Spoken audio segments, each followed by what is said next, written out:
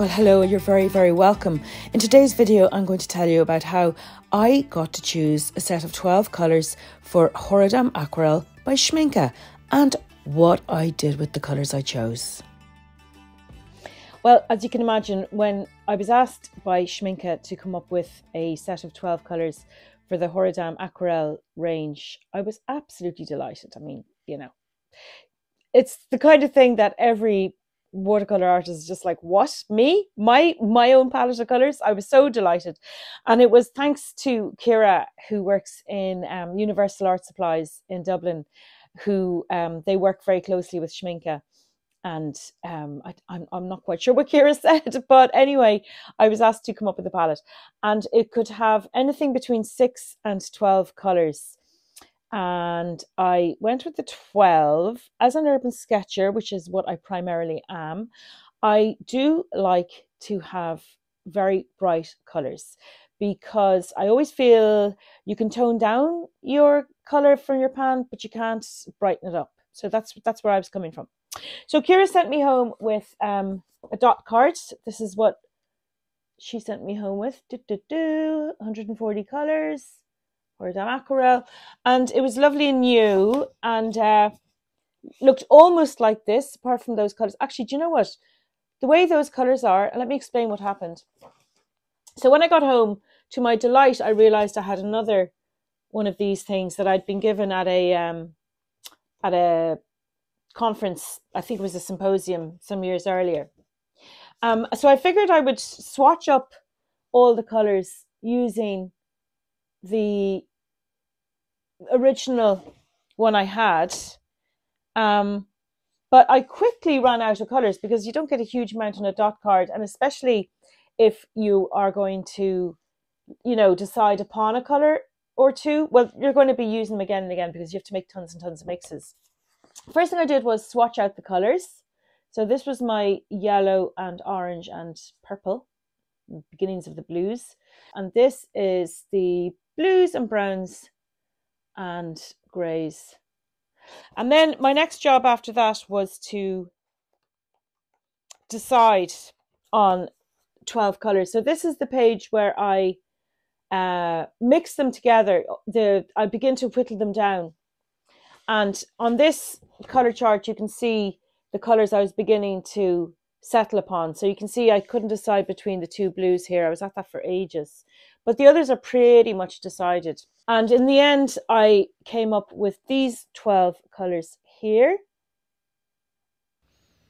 And I'm going to go through them with you one by one. So here we have uh, lemon yellow, which was aureolin to begin with, aureolin hue, but my mom, Cindy, said that it can go grey over time.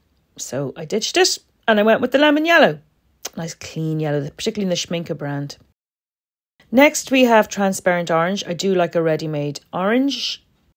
Quinacridone red light, fabulous for skin tones when mixed with yellow ochre or burnt sienna or burnt umber or any one of a mix of any of those.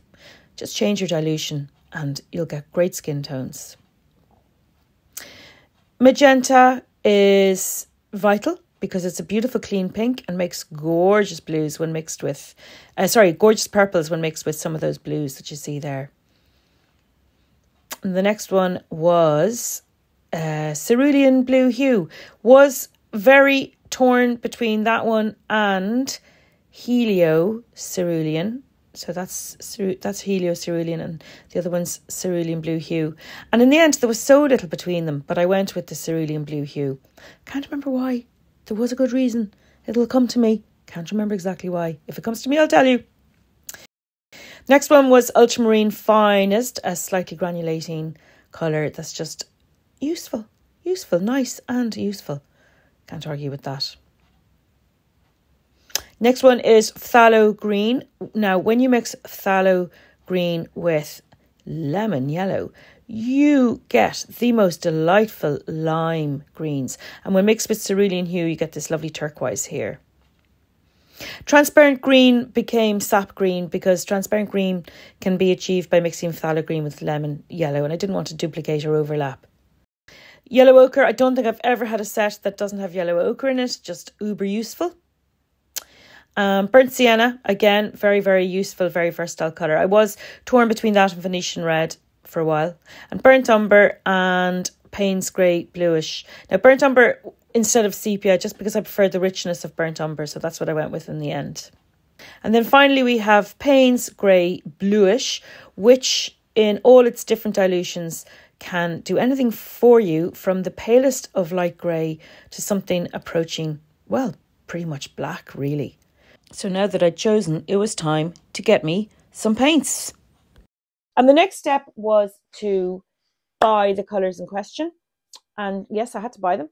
That that sharpened my focus a little bit, and I realised that I actually had loads of tubes of the colours, the exact colours in question. I had them in in my studio, which was a real pointer to the fact that I was already thinking those were my colors. They were my colors that I was using that I found useful. So even though I would have loved to have come up with a completely different and unusual palette, what's the point if there is an actual palette that you find that you yourself use a lot? So I mean, there's a reason why you stick with certain colors because they they they they're very versatile and so on. So let's have a look and see what. Okay, I came up with now. Here's the little box of colors itself. I know it doesn't look great. I don't like the way aesthetically. I don't like the way some are full pan and some are half pan. But that's because I had to buy the full pans from um from Universal Art Supplies and uh, the squidgy little ones in the half pans. They're the ones I squeezed out myself from my existing tubes.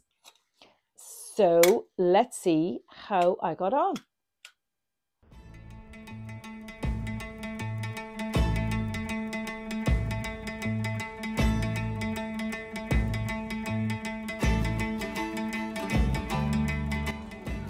So I got myself a croissant, and as always, I start with whatever's closest to me. Now, I didn't quite get to the croissant before I took a few bites, as you can see there. And then I got on to get my coffee. I always try to get the coffee in before it gets cold so I can drink it. And I always fail. A little bit of burnt sienna for the top creamy surface of the flat white, adding a little bit of richer burnt sienna in. A bit of Payne's grey for the shadow around the croissant and around the cup. Wood grain always looks really, really good when you when you manage to capture the look of a table. And basically it's just a pile of zigzaggy lines with long straight bits in between. Using a very dilute watercolour to get the shapes of the lamps, it really helps to get them straight. And then I go over them with my pen drawing some patterns on the blackboards. I really liked those blackboards, beautifully done. To get the look of the light, I need to darken around the, the very bright light bulbs and I'm using a little bit of a mix of quinacridone red light with a little bit of transparent orange. So I've been busy getting the customers in and filling in the blackboard and the darker the better so that your white writing shows up. I've used a, a white gel pen to show those little suggestions of writing onto the blackboard. Using, I suppose, a rainbow colour for the bottles on the shelf, just to add that little bit of extra colour. And there we go, pretty much it. So there you go. I hope you approve of my colour choices in my new little palette. I think it came out pretty okay. There wasn't any colour that I thought I'd like to make that I wasn't able to make, but that was only my first go with this palette, so there'll be lots more. So make sure to like and subscribe, and you'll be able to keep up with whatever my final verdict is.